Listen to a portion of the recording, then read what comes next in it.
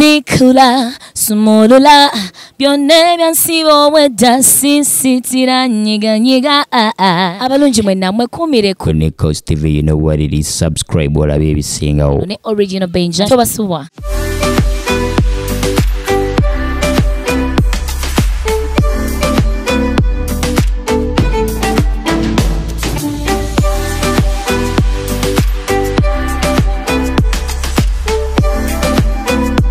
Yo, my people, what's up? It's your boy Eddie Kenzo with my boy Original Benja. Subscribe on Nichols TV. tosobola kuŋŋamba nti nno omukulembeze akulira abayimbi.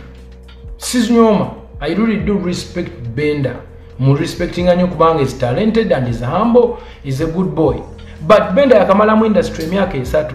3 years. 3 years.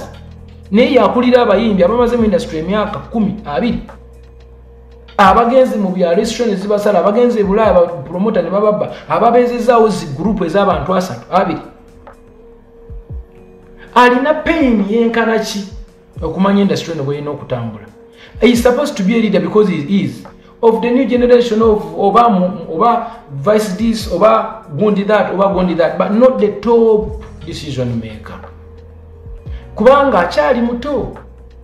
He has no enough experience to do this however much mulungi nnyo era tumwagala nnyo but waliwo ebintu emitendera mwe bitambulira. So mbadde ntesa tutuule. Nga bwe tuba tunalonda abakulembera ati ono tutambulira mu kintu kyebayita experience. Nti okwesimbawo mu kifo kino olina okuba nga olina qualifications a b c d.